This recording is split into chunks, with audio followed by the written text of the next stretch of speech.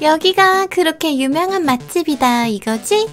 나는 오만 음식 속의 유튜버다 이거야. 역시나 인기 식당이라서 그런지 사람이 많네. 안녕하세요. 주문하시겠어요? 뭘 드릴까요? 음, 저는 여기 있는 메뉴들 주세요. 다섯 가지요. 많이 시켰죠? 저 오만 유튜버예요. 아, 예, 예. 그러셨구나. 금방 준비해드리겠습니다.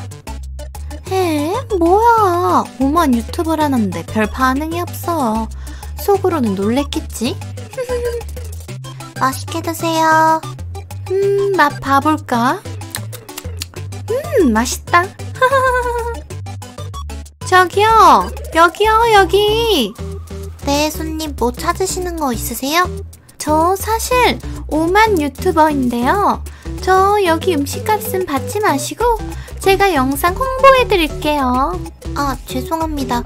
손님, 저기 보시면 유튜버, 블로거, 기타 등등 무료 취식 광고 X 절대 금지요라고 적혀 있어서요. 허, 참네. 저런 건 인지도가 없는 사람일 테고 저는 5만 유튜버예요. 알겠어요? 뭘 알지도 못하면서 10만 유튜버 식당 브이로그 유튜버인데요. 에? 10, 10만? 그리고 여기 오시는 손님들이 맛집이라고 유명한 분들이 많이 오세요. 저기 보시면 42만 유튜버, 저쪽은 85만 유튜버, 심지어 저쪽은 180만 유튜버. 아, 저거 맞지, 저거다. 허허, 우리 소녀 딸 무슨 일 있니? 호호, 손님 맛있게 드셨어요. 아가, 하레비 오늘 유튜브 3천만 명 구독자 달성했다. 허허허. 3, 3, 3천만?